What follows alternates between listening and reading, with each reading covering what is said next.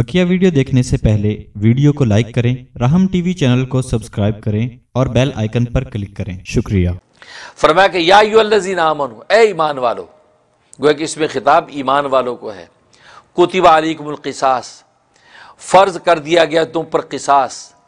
किसास का माना होता है मुमासलत। मुमासलत का मतलब यह है कि जैसा जुल्म सामने वाले ने तुम पर किया है, वैसा ही जुल्म तुम उनके ऊपर कर सकते हो। जैसी तकलीफ़ उसने तुम्हें पहुंचाई है, वैसी तकलीफ़ तुम पहुँचा सकते हो। उसने तुम्हें कत्ल किया है तो उसके मुकाबले में कातिल को कत्ल किया जाएगा। उसे एक जख्म लगाया है, तुम उसके मुकाबले एक जख्म लगा दो। उसे तुम्हारा तान तोड़ दिया है, तुम उसके मुकाबले उसका दान तोड़ दो। उसे तुम्हारी उंगली काट दी है, तुम उसके मुकाबले उसकी उंगली काट दो। उसे तुम्हारी एक आँख फोड़ दी है, उसके मुकाबले तुम उसकी एक आँख फोड़ो। लेकिन ये सारे जो उसका मुकाबले में जो सज़ा वारिद होगी किसास की, ये काजी इस्लाम और हुकूमत वक़्त की इजाज़त के साथ होगी। बर रास्त किसी को किसी से बदला लेने की इजाज़त नहीं है। ये भी इस्लाम का इंतज़ाम है। उसकी वजह यह है कि अगर एक शख्स ने एक की आँख फोड़ दी और अगर इस्लाम उनको इंडिविजुअली इनफरादी इजाज़त दे दे कि भाई ऐसे अगर किसी ने आपकी आँख फोड़ी, आप भी उसकी आँख फोड़ दें, आप भी आप उसकी आँख फोड़ दें तो आप देखो ये फरते जज्बात और गुस्से के अंदर, गजब के अंदर इंसान आप में नहीं रहता। हो सकता आँख फोड़ने के साथ कुछ और भी फोड़ दे, उसका सर भी फोड़ दे, उसको और गुस्से में, जज्बात में और ज़्यादा मारे, यहाँ तक उसके दोनों आँखें फूट जाएँ। उसने इसकी सीधी आँख फोड़ी थी, उसकी उल्टी आँख फोड़ दे। हालाँकि इसकी सीधी फोड़ी तो उसकी भी सीधी फोड़ी जाएगी। इसकी उल्टी आँख फोड़ी तो उसकी भी उल्टी आँख फोड़ी जाएगी, क्योंकि ज़ाहिर है कि हो सकता है कि आँखों की सीधी और और उल्टी आँखों की रोशनी के एतबार से फ़र्क हो। तो लिहाजा बिल्कुल शरीयत बराबर बराबर कि उसकी सीधी अब ये फरते गुस्से में आके उसकी सीधी की उल्टी आँख फोड़ दी, हालाँकि उसने उसकी सीधी फोड़ी थी, नतीजा क्या होगा? ये ये फसाद पैदा हो जाएगा। ये अनार की पैदा होगी। और अल्लाह तबारक व ताली को माहौल में ये अनार की गवारा नहीं है। हाँ काजी इस्लाम, अब जब देखेगा कि इसकी आँख फोड़ी, अब उसकी पूरे मुकदमे की तफसीत सामने आएँगी। आँख क्यों फोड़ी? क्या वजूहत हुई? क्या ये इसका आँख फोड़ना एक्शन था या रिएक्शन था? हो सकता है ये रिएक्शन हो। वो उससे पहले कोई और आँख जिसकी फूटी हो, उससे पहले कोई और जुल्म कर चुका हो? क्या खबर? क्योंकि हमें तो अभी इसकी आँख फूटी नज़र आ रही है। और ये मजलूम नज़र आ रहा है। लेकिन जब मुकदमा चलेगा तफसीत सामने आएगी तो पता चलेगा, नहीं जी, नहीं, ये इसने तो फलां वक्त में ये किया था। अब ज़ाहिर है कि काजी इस्लाम पूरे मुकदमात के गवाह और तस्किया गवाहों का करने के बाद नतीजे पे पहुंचेगा हाँ भाई, इसकी ये आँख फोड़ी गई है, लिहाजा इसके मुकाबले इसकी आँख फोड़ी जाएगी। अब काजी इस्लाम जो है, वो जल्लाद के ज़रिए से पूरी एहतियात के साथ आँख के मुकाबले में आँख। इसी तफसील को कुरान ने बयान किया, आँख के बदले में आँख। नाक के बदले, अगर नाक काटी है तो नाक के बदले उसकी भी नाक काटी जाएगी। अब अगर इंडिविजुअली इंडिविजुअली इजाज़त दी जाए, दे दी जाए, अब पता नहीं उससे उसकी कितनी नाक काटी और पता नहीं कितनी काट दे। ये हड्डी समेत ही उसकी जड़ से नाक तोड़ दे तो जुल्म हो जाएगा। और ये तादी और जुल्म अल्लाह तबारक व ताल को गवारा नहीं हाँ। अल्लाह तबारक व ताल उम्मत मोहम्मदिया, अला साबियत तस्लीम व सलात पर यह रहम किया है कि इनको बदले की इजाज़त दे दी है। ये बदला ले सकते हैं। लिहाजा बदला भी ले सकते हैं, किसासन उसकी जान दूसरे कातिल की ले सकते हैं और वो माफ़ भी कर सकते हैं, दियत भी ले सकते हैं। जबकि पहली उम्मतों के अंदर क्या था? पहली उम्मतों में, यानी यहूद के अंदर किसास का हुक्म था कि आप जो उसके बदले में किसास ही ले सकते हैं। तो लिहाजा किसास ले लें और या माफ़ कर दें। किसास लें या माफ़ कर दें, इन दो ऑप्शनों में से एक ऑप्शन आपको इख्तियार करना होगा। दियत का कोई तस्वुर नहीं था कि आप पैसे लेके माफ़ कर दें। या तो बिल्कुल निरा माफ़ कर दें और या फिर जान के बदले में जान ले लें। और नसारा के अंदर, ईसाइयों में इंजील के अंदर ही हुक्म था कि माफ़ कर दें। वहाँ ना तो किसास की इजाज़त है, ना दियत की इजाज़त, बल्कि माफ़ करने की इजाज़त। तभी दीन ईसवी के अंदर यह था कि अगर आपके मुँह पे एक शख्स एक थप्पड़ मार दे तो आप उसको दूसरा गाल पेश कर दे कि यार इधर भी मार दो। बजाय इसके कि आप उसके एक थप्पड़ मार के बदला लें, बल्कि आप दूसरा गाल पेश करके दूसरा थप्पड़ खाने के लिए भी तैयार हो जाए। अब देखो ये अनबैलेंस अनबैलेंस मामला तो वहाँ यहूद में कह दिया था, या तो किसास लो, या पूरा ही माफ़ कर दो। कोई बैलेंस बात बजहर लग नहीं रही थी। और ईसाइयों के अंदर कहा कि माफ़ ही कर दो। अगर कत्ल किसी ने कर दिया, चलो माफ़ ही कर दो। लेकिन इस्लाम ये एक रहमत बन के आया। तभी आगे अल्लाह तबारक व ताली अपने इस इनाम और रहमत को ज़िक्र कर रहे हैं। देखो, तुम्हारे रब की तो कितनी बड़ी रहमत है। तुम्हें तीन ऑप्शन दिए एक तो किसास का ऑप्शन दिया है कि तुम अपने मकतूल के बदले में कातिल को कत्ल करके अपनी तस्कीन कल्ब कर लो। ठीक? अगर ये नहीं करना चाहते तो फिर तुम उसके मुकाबले में दियत ले लो। जान के बदले में पैसा ले लो। ज़ाहिर मरने वाला जब मर गया है तो गाय कि एक माल कमाने का सोर्स ख़त्म हो गया। अब उसके जो वर्षा है उसके जो यतीम परेशान होंगे लिहाजा तुम उसके बदले में दियत लेके उससे अपने बच, उसके बच्चों की मकतूल के बच्चों की ज़िंदगी को संवार लो। और या ये नहीं तो फिर तीसरा ये कि माफ़ कर दो। और माफ़ करना ये तुम्हें इजाज़त है कि तुम बगैर किसी लेने देने के बिला मुआवजा के माफ़ कर दो। और चाहो तो कोई रकम मुकर कर लो किसी एक चीज़ पर एग्री हो जाओ। कोई भी चीज़ ज़रूरी नहीं कि आप दियत ही लें कोई किसी और बात पे एग्री हो जाए। किसी और ऐसा कोई मुआदा कर लें? लिहाजा उस माहे पर एग्री होकर माफ़ कर दें। इसकी भी आपको इजाज़त है। फरमाया कि यह अल्लाह तबारक व ताली की तरफ़ से एक रहमत है अहल ईमान, अहल इस्लाम के लिए कि अल्लाह तबारक व ताली ने तीनों ऑप्शन दिए। इसलिए यहाँ पर फरमाया कि ए ईमान वालो, कुतबा अलीकमसास फ़िल कतला। तो तुम्हारे मकतूलों के अंदर जो है, वो किसास का हुक्म नाजिल किया गया है। अलहुर्र बिलहुर्री। आज़ाद आदमी को आज़ाद के बदले में कत्ल किया जाएगा। एक आज़ाद आदमी ने आज़ाद को कत्ल किया, आज़ाद को आज़ाद के बदले में कत्ल। वलाब्दु बिलाबदी ग़ुलाम को ग़ुलाम के बदले में कत्ल किया जाए। ग़ुलाम ने ग़ुलाम को कत्ल कर दिया, उसके बदले में ग़ुलाम कत्ल होगा। वलसा बिलसा औरत को औरत के बदले में कत्ल किया जाएगा। औरत ने किसी औरत को कत्ल कर दिया तो उसके मुकाबले में उसी कातिल औरत को कत्ल किया जाएगा। अब ये बात क्यों अल्लाह तबारक वता ने बयान फरमाई? असल में एक वाक़ पेश आया था जिसके नतीजे में अल्लाह तबारक वाली ने यह कायदा बयान किया। बाज़ मुफसरी फरमाते हैं कि ये बनी कुरैजा, बनी नज़ीर, ये दो कबीले थे, उनके बारे में ये आयात हैं। बाज़ मुफसर फरमाते ओस और खजरज, ये दो कबीले थे, इनके बारे में आयात हैं। और राजे ये कि ओस और खजरज ही के बारे में हैं और ये अल्लाह सनाल्ला पानीपति रहमत का भी कौल है कि औस और खजरज, क्योंकि याजीन आमन कह के ईमान वालों को खिताब किया जा रहा है। और बनी कुराजा, बनी नज़ीर ईमान वाले नहीं थे। औस और खजरज ये बाद में ईमान के अंदर दाखिल हो गए थे, इनके बारे में। वह यह कि इनमें एक कबीला ताकतवर था, उनकी तादाद बहुत ज़्यादा थी, और पहले ज़माने में लोगों की तादाद ज़्यादा होना उसकी कुत की दलील होता था ख़ास तौर पर मर्दों की तादाद। लिहाजा मर्दों की तादाद ज़्यादा है तो ज़्यादा मर्द, वो ज़्यादा जंगजू उनके पास हैं। अब उनके पास दस हज़ार जंगजू हैं मर्द, इनके पास पाँच हज़ार जंगजू हैं तो दस हज़ार वाला पाँच हज़ार पर हावी रहता था। अब जब ये एक कबीला दूसरे पे हावी था तो ये करता था कि ये उनकी औरतों से मगलूब कबीले से निकाह कर लेता, उनकी औरतों से बगैर महर के, बगैर महर के निकाह कर लेते। और फिर जुल्म सितम और ज़्यादा ढाते। उनके लोगों को यह गुलाम बना लेते, गुलामों पर जुल्म सिदम ढाते और उनका हक अदा ना करते। तो जो मगरूब कबीला था, उन्होंने ये सोच लिया कि अगर कल को हमें मौका मिला, अगर हमारा एक गुलाम कत्ल हुआ तो गुलाम कत्ल के बदले में हम इनका आज़ाद कत्ल करेंगे। और हमारी अगर औरत कत्ल हुई तो औरत कत्ल के बदले में हम इनका मर्द कत्ल करेंगे। और इनका, अगर हमारा को आज़ाद आदमी कत्ल हुआ हम उसके बदले में दो आज़ाद आदमी कत्ल करेंगे इनके। तो ज़ाहिर ये बेचारे उनकी ज़्यादतियाँ और जुल्म की चक्की में पिसते थे तो इन्होंने ये इरादा कर लिया कि हम इसके बगैर को छोड़ेंगे नहीं। ये उन्होंने अहद बाँध लिए और वक़्त का इंतज़ार करते रहे कि भला वक्त आएगा तो फिर हम ये करेंगे। इधर जो मदीना मुनवरा के अंदर सरकार दो आलम अलैहि वसल्लम पहुँच गए, इस्लाम की दावत फैली तो ये कबीले इस्लाम में दाखिल हुए। इस्लाम में दाखिल हुए, लेकिन इनके सारे पिछले हिसाब किताब बाकी हैं। इन्होंने नबी करीम सल्लल्लाहु अलैहि वसल्लम के सामने ईसाई तफसील रखी कि हमने तो ये सोच रखा उस पर अल्लाह तबारक व ताली ने आयात नाजिल फरमा दी कि इनको बता दो, नहीं, अलहुर्र बिलहुर्री, एक आज़ाद के बदले में एक आज़ादी कत्ल होगा और एक ग़ुलाम के बदले में ग़ुलाम ही कत्ल होगा। ये नहीं कि तुम्हारा ग़ुलाम कत्ल हो तो तुम उसके बदले में उनका आज़ाद कत्ल करो।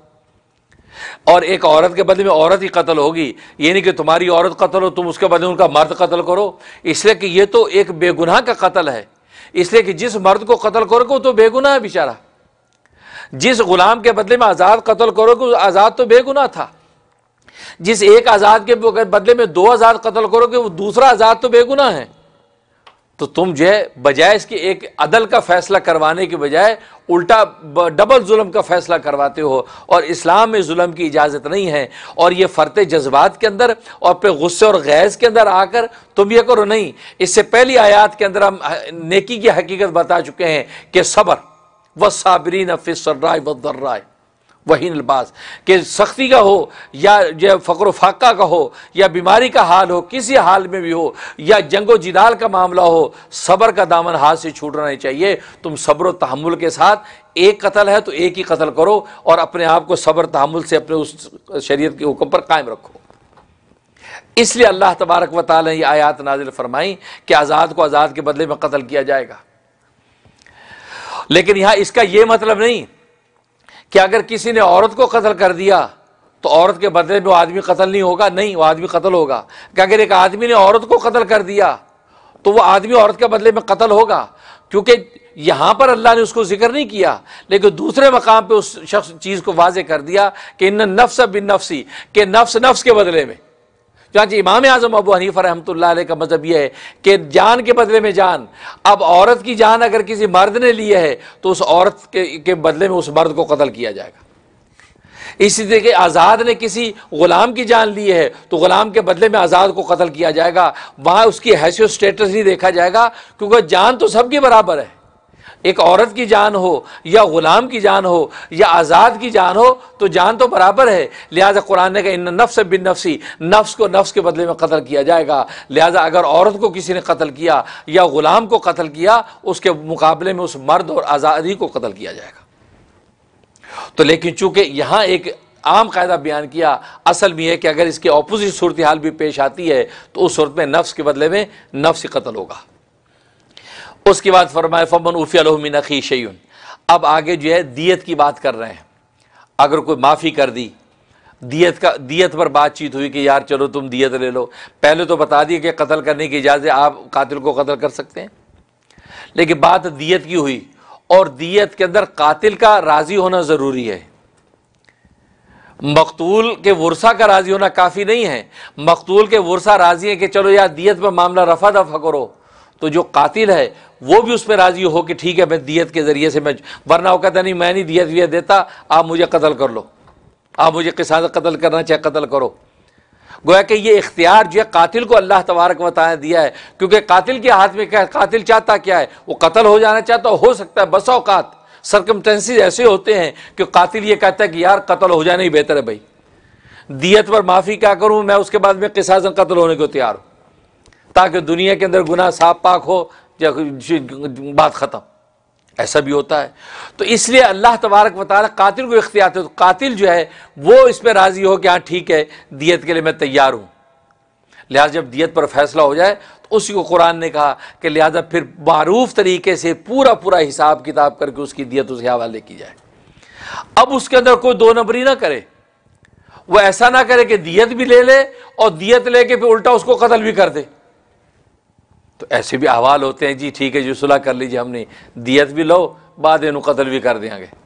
किसी भी तरीके से पदत किसी थर्ड आदमी ने मार दीजिए हमें तो पता ही नहीं है। हमने तो तो ज़ाहिर दुनिया में सब कुछ होता है। आगे कुरान में अल्लाह तबारक बताया इसी हकीक को बयान किया, ये इतनी ज़बरदस्त ज्यादती है, ऐसा जुल्म अजीम है कि इस कत्ल करने वाले को अल्लाह हमेशा हमेशा जानों में रखेंगे।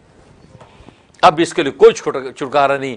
दुनिया में रसवाई तो होगी होगी, लेकिन मैं आखरत के अंदर अल्लाह तबार अब इसको माफ़ नहीं करेंगे। ज़ाहिर है कि इसको भी दियत के साथ आपका फैसला हो गया, बातचीत होगी माफ़ी तलाफी होगी। अब आपने उसके अंदर मकारी दिखाई कि उनको गाफिल रखा, कि दियत भी ले ली और बाद में उसको कत्ल भी कर दिया? नहीं। अल्लाह तबारक वाली फरमाया कि अब इसको हमेशा हमेशा की जान। खालिदीन फ़िया अबदा। तो यहाँ फमन उफिया लहू से कि फिर जिसको माफ़ कर दिया गया, उसके भाई की तरफ़ से कुछ भी यानी मदीयत की बात हो रही है फतवा बिल मारूफ तो ताबेदारी करनी चाहिए जो दस्तूर के मुताबिक। जितनी दियत, उतनी दियत दे। और दियत कितनी है? एक आदमी की दियत शरीयत के मुताबिक सौ ऊँट।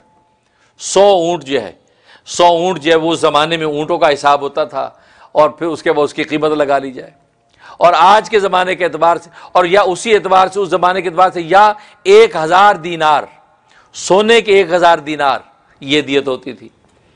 और या दस हज़ार दिरम चांदी के दस हज़ार दिरहम, ये एक आदमी की दियत। और आज के ज़माने में, गोया के आज के ज़माने में छत्तीस किलो छत्तीस किलो, छत्तीस तोले और आठ माशा चांदी चांदी, सिल्वर, थर्टी सिक्स तोला kilo, thirty six kilo, thirty six तोला और थर्टी एट माशा चांदी। ये अब इसकी जितनी कीमत बने या इतनी चांदी जो है उनको दी जाए दियत में दी जाए, या इसकी मार्केट वैल्यू जितनी बनती है, उतनी मार्केट वैल्यू की कीमत जो है उसके हवाले कर दी जाए। तो उस दियत का ज़िक्र कर रहे हैं कि जो मारूफ तरीके पर जितनी दियत बनती है, वो दियत उसके हवाले कर दी जाए। फमन उफ़ी अलमिन अखी ही फिर जिसको माफ़ कर दिया जाए उसके भाई की तरफ़ से कुछ भी। फतवा बिल मारूफ, मिन अखी, ये भाई जो कहा, ये मकतूल का भाई। मकतूल का भाई, मकतूल के भाई की तरफ़ से को माफ़ी हो गई। ये भाई कातिल को नहीं कहा, मकतूल के भाई को कहा है। जो मकतूल, उसका भाई जो भी उसका वारिस है, चाचा है, मामू है, या उसका सगा भाई है, या कोई भी तो वो अपने उस मकतूल भाई, जो उसका दीनी भाई है, या नस्बी भाई है, उसकी तरफ़ से ये माफ़ी दे रहा है। ये माफ़ी दे रहा कातिल को हम तुम्हें माफ़ करते हैं, उसके बदले में आप हमें दिए दे दें। तो ये कह रहे हैं। तो फिर जिसको माफ़ कर दिया जाए, उसके भाई की तरफ़ से कुछ भी तो फतबाओं बिल मारूफ तो ताबेदारी करनी चाहिए दस्तूर के मुआफिक। व अदाउन इलही बेहसान, और अदा कर देना चाहिए खूबी के साथ। यानी वो दियत जो है, वो खूबी का है, उसको अदा कर देनी चाहिए। अब उसमें टाल मटोल ना हो, कि आपने चेक बना के दे दिया, चेक बाउंस हो गया। चेक बाउंस हो गया अब वो बैंकों के चक्कर काट रहे उसको अब सारी दुनिया के सामने, पंचायत के सामने और जरगे में तो उन्होंने चेक हवाले कर दिया। और सबने मुबारकें दे दीजिए माशाल्लाह जी। आपको जी पाँच लाख का चेक मिल गया जी। अब चेक डाला तो दो तीन दिन बाद पता चला तो चेक तो बाउंस। अल्लाह कहते नहीं, ये अदाउन इले भी एहसान आप उसके भूल के अच्छे तरीके से। ज़ाहिर ऐसी चीज़ों बचने के लिए आज की दुनिया में फिर ये कहते नहीं भी, आप जो बैंक चेक लाएँ सर्टिफाइड चेक लेके आए आपको ऐसा सीधा साधा चेक नहीं चलेगा। सर्टिफाइड चेक दें, या कैश दें, या जो भी है। तो ऐसी सूद इख्तियार कर लेनी चाहिए ताकि आजकल को फरार ना हो जाए। क्योंकि अब जरका बैठा है, अब पंचायत में फैसला हुआ या कोर्ट में फैसला हुआ, अब तीन चार दिन बाद पता चला बैंक चेक बाउंस हो गया, अब कौन किसको ढूंढेगा भाई? लेकिन अल्लाह तबारक व ताल ने अहलमान को नसीहत कर दी, देखो फतवा बिल मारूफ। दस्तूर के मुताबिक हुक्म की पैरवी करो और अच्छे तरीके से उसकी अदायगी कर दो। और उसके बाद अल्लाह ने अपना एहसान जितलाया ज़ाली का तखफ़ीफ़ में रबी कुम व रहमा। ये आसानी तुम्हारे रब की तरफ़ से है और रहमत है। वरना पहली कौमों में वहाँ दियत नहीं थी। वहाँ या किसास था या माफ़ी थी। या या नसारा में सीनीरी माफ़ी थी। वहाँ तो किसास का भी हक नहीं था। लेकिन तुम्हें अल्लाह तबारक वाली दीन दीन इस्लाम, दीन फितरत है। अल्लाह तबारक वाली एन फितरत के मुताबिक यहाँ पे तुम्हें जो अपना, अगर तुम्हें इंतकाम का जज, भड़क उठ रही है आग कि नहीं, इस आदमी को हमने कत्ल करना है तो ठीक है, आप किसास करें? कत्ल करें। लेकिन अगर सोचते कि चलो यार, पहले कत्ल हो गया, ये अब ये दूसरा भी ख़ानदान का बंदा कत्ल हो जाएगा तो चलो छोड़ो यार, बस दियत दे दो तो दियत ले लो। और अगर कहते नहीं यार, ना दिया तो बस अल्लाह के स्पुर हम माफ़ ही करते हैं। तो माफ़ भी कर दो। तो कि सारे ऑप्शन अल्लाह तबारक वाल ने तुम्हें दिए हैं। ये अल्लाह की तरफ़ से बहुत बड़ी रहमत है। इसलिए कहा, जालिक तखफीफ में रबिकुम ये आसानी तुम्हारे रब की तरफ़ से है वरहम और रहमत है। अब आगे अल्लाह तबारक व ताली तंबी कर रहे हैं। फमाते, फमन तदाबाद जालिका। फिर जिससे ज्यादती की इस फैसले के बाद, ज्यादती क्या मतलब? जैसे मैंने बताया कि दियत भी ले ली और पीछे से उसको कत्ल भी कर दिया। फरमा ये जिसने किया, फलह अजाब अलीम तो उसी के लिए दर्दनाक अजाब है।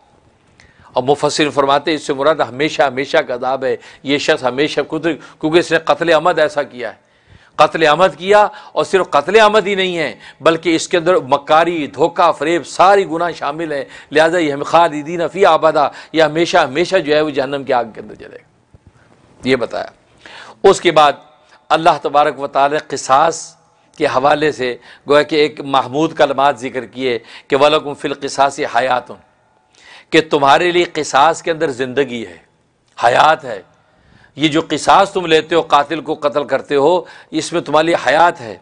वलकुम फ़िल किसासी हयात या उलबाब ए अक्लमंदो, इसके अंदर तुम्हारे लिए हयात है। लाल लकुम तत्तकून, ताकि तुम बचते रहो।